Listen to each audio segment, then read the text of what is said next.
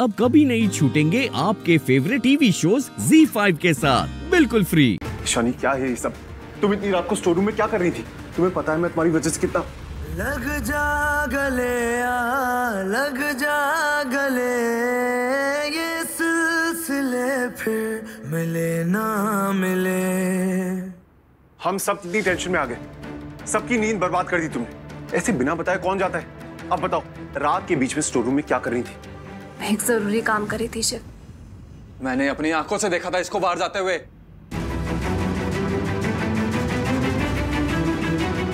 मामा जी मैं कब बाहर गई? मैं तो यही थी। कहीं आप सपना तो नहीं देख रहे थे? ईशानी जितना पूछ रहा हूँ उतना बताओ। तुम स्टोर रूम में क्या कर रही थी? जवाब दे लड़की। मम्मी जी मैं जवाब दूँगी। लेकिन ऐसे बोल के नहीं। आप सबको कुछ दिखाना है मुझे।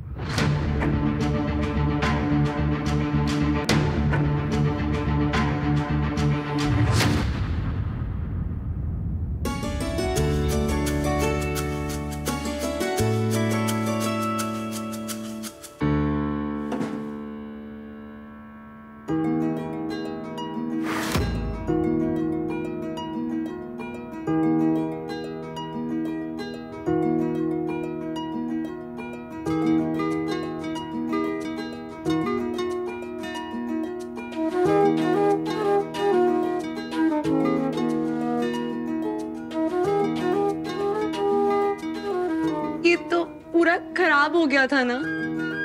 कैसे ठीक हुआ? ईशानी, इसे तुमने ठीक किया? टीना, ये शिव की तरफ़ से तुम्हारे लिए गिफ्ट। इसे फिक्स तो मैंने ही किया। लेकिन इस गिफ्ट के साथ शिव के इमोशंस जुड़े। कि तुमने इसे बचपन में बनाया था।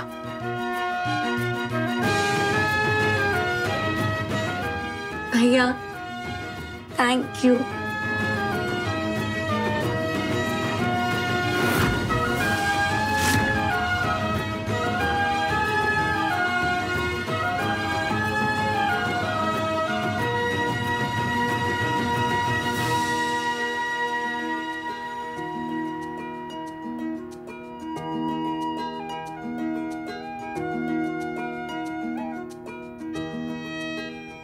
भैया माँ टीना या शिव? तो क्यूट है। थैंक यू ईशानी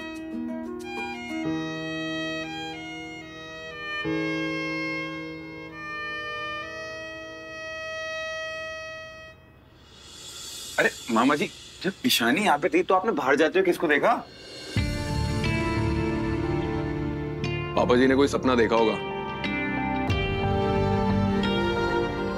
अक्सर नींद पूरी नहीं हुई मामा जी की। उसी को देखा था यार। इससे पहले कि टीना के ससुराल वाले जाग जाएँ, सब लोग अपने अपने रूम में जाकर सो जाओ।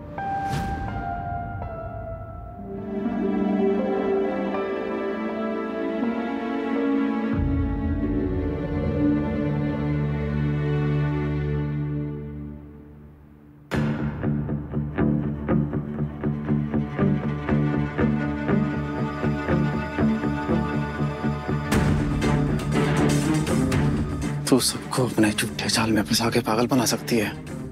लेकिन मैनू नहीं मैनू पता है तू बाहर गई थी, लेकिन वापस कब और कैसे आई, वो नहीं मेरे को पता।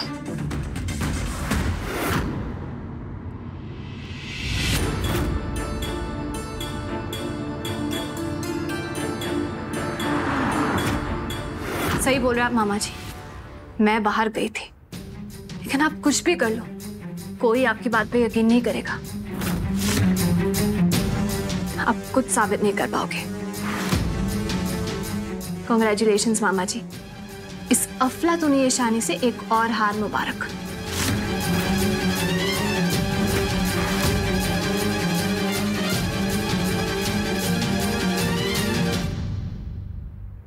मैं गई तो थी मामा जी के खिलाफ सबूत लाने, लेकिन मामा जी ने मुझे देख लिया और मेरा पूरा प्लान बदल गया।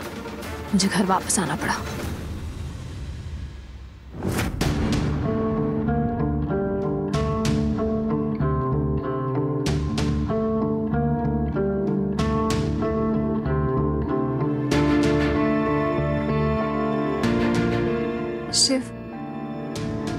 मैं क्या प्रूव करना चाहती हो तुम? कि तुम बहुत ईमानदार हो। कि तुम एक बहुत अच्छी बहू हो। एक बहुत अच्छी भाभी। एक बहुत अच्छी पत्नी। कि तुम मुझसे बहुत प्यार करती हो। क्या? क्या दिखाना चाहती हो तुम? ईशानी कुलकर्णी, हम सब तुम्हारी असलियत समझ गए तो हमें इमोशनली मैनिपुलेट करने की कोशिश मत करना। शिव, तुम गलत समझ रहे हो। ये सब मैंने अपने लिए नहीं, टीना के लिए किया। एक लड़की जब अपना सब कुछ छोड़ के अपने ससुराल जाती है ना तो ये सब चीज़ें उसके लिए बहुत मायने रखती है। ये जो मासूम चेहरा बना के तुम अपने झूठ को सच साबित करने की कोशिश करती हो ना, ये मत करो। क्योंकि अब मुझे कोई फ़र्क नहीं पड़ता। मैं ज़िंदगी भर कुछ नहीं कर पाया अपने भाई के लिए। कुछ नहीं दे सका उसे। लेकिन मैंने सोचा उसकी मौत के बाद मैं उसे इंसाफ दिला सकूँगा, उसकी आत्मा को शांति दिला सकूँगा। लेकिन तुमने मुझसे वो मौका भी छीन लिया। और ये मैं कभी नहीं भूलूँगा, ईशानी। कभी नहीं।